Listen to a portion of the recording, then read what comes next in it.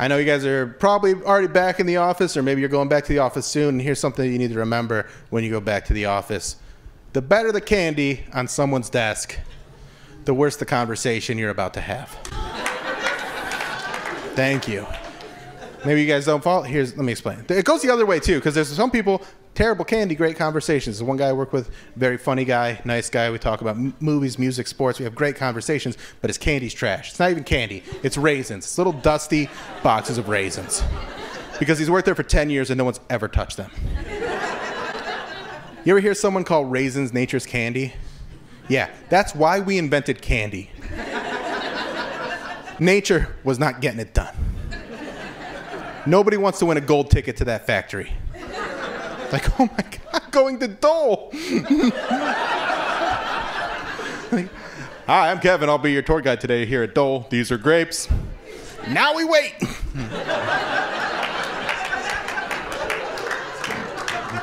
In a couple hours, I'll show you how they come out of the box in one big sticky clump. It's disgusting.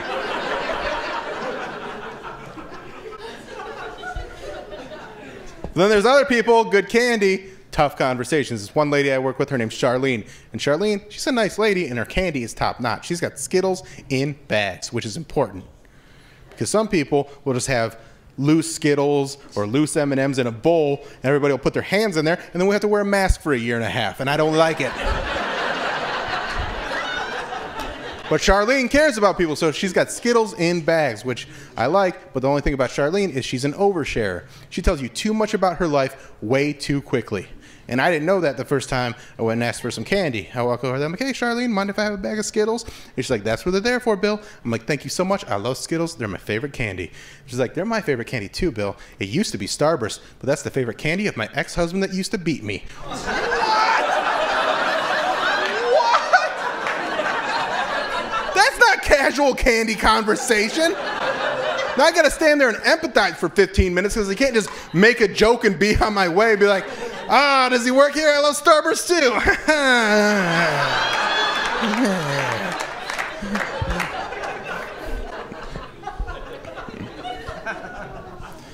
and then there's my nemesis. My nemesis is an older lady named Margaret. And Margaret doesn't just have candy, she's got food, real food. Not, not, not raisins, real food.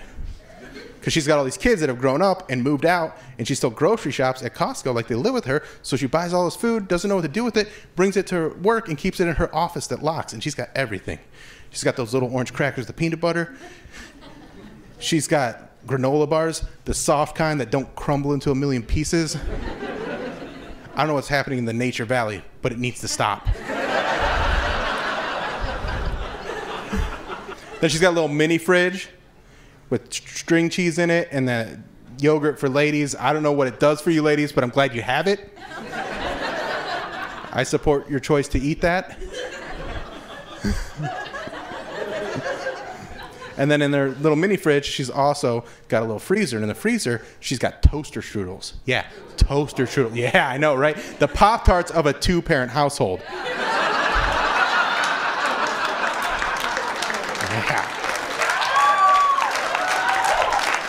Some of you guys are having a realization right now, like, oh, we used to have toaster strudels. and then we were a Pop Tart family. Oh.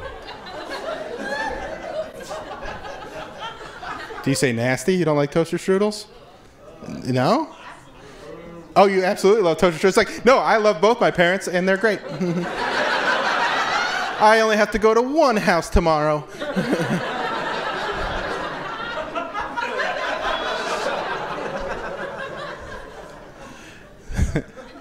The only thing about Margaret is, though, she's got a little rule. If you take any of her food, you don't just get away with it scot free. She's got a little quid pro quo.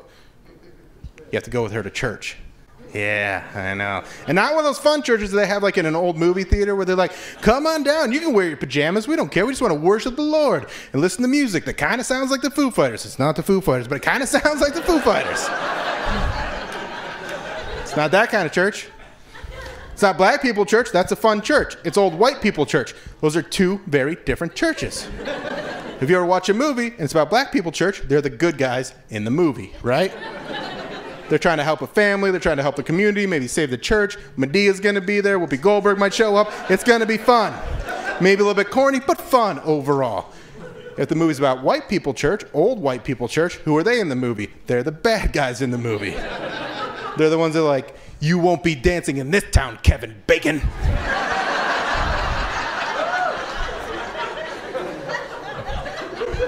you do your gymnastics in silence.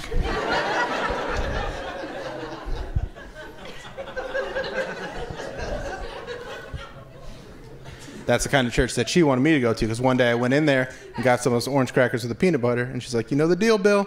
Take any of my food, you gotta go to church with me on Sunday. I'm like, I'll see you Sunday. Sunday rolls around. I didn't go to church. Monday, she found me. I was hiding from her. She found me. And uh, she cornered me and she was like, Hey, Bill, missed you at church yesterday. You said you're gonna come, but you didn't, so I'm guessing you had a good excuse. And I was like, Oh, yeah, I was on my way. But then Jesus took the wheel.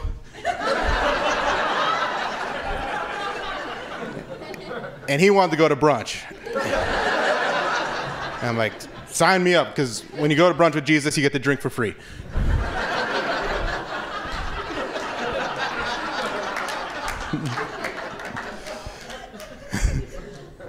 and she goes, Oh, Bill, you're so funny to some people.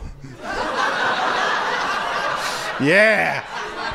Old white people church is good at passive aggressive, and she got me right in the heart with that one. She's like, You said you were going to come to church, but you didn't come to church. And Bill, that's a lie. And a lie is a sin. Sounds to me like you could actually use some church in your life. And I'm like, You know what, Margaret? You're right. I could use some church in my life. I'll see you this Sunday. Sunday rolls around. I didn't go to church again. But what I did do is I became friends with a janitor that has a key to her office. So I just go and take food when she's not there. Because the Lord works in mysterious ways. My name is Bill Squire. Thank you guys all so much for coming out.